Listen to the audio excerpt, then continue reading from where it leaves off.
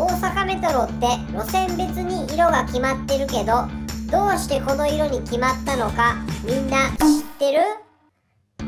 実は公式に記録が残っているのは長堀鶴見緑地線と今里筋線ニュートラムの3路線だけなんだひょ長堀鶴見緑地線は鶴見緑地で開催された花博のアクセス路線としてふさわしい黄緑。今里筋線は他の路線と識別しやすくて暖かさをイメージした橙ニュートラムは四つ橋線につながり海や空を感じさせるセルリアンブルーを路線カラーに採用したんだって。他の路線は公式じゃないけど通説として広まっている説があるらしいよ。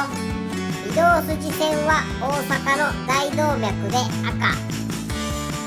橋線は御堂筋より海側を平行に走っているのと御堂筋線の大動脈の赤に対して静脈の青。谷町線は沿線にお寺がたくさんあることから最高位の僧侶が身にまとっている今朝の色の紫。中央線は大阪城公園の近くを通るから公園の木々を連想する緑。千日前線は夜の難波や繁華街のネオンをイメージした桃色。堺筋線は相互直通運転をしている阪急電車に合わせてチャーなんだって。